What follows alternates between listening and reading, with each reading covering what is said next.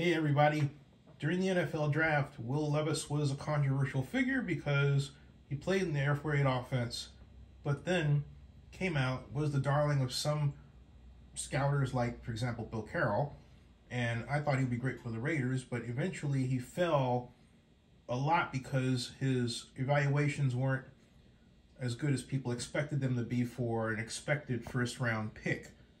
And now he's getting his first operation after preseason where he was subpar and he's doing really well. He's 11 of 15, 115 yards and two touchdowns in relief of the man that he's talking to with a cap, Ryan Tannehill. Uh, hey, quick update, by the way. Will Levis was 12 of 19 for 129 and two touchdowns. So okay. Will Levis from Kentucky, uh, a man that has been a polarizing figure. I remember he has a tendency to really be um, effusively self-promoting, which I don't have a problem with, except when you're a rookie. But others defend it like my good friend AP Stedham, who on video really got after me. Sorry, AP, you did. Love you very much.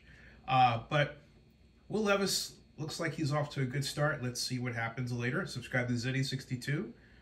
Bookmark oaklandnewsnowblog.com. And uh, there you go. Oh, and by the way, check out our new website, zenniereport.com.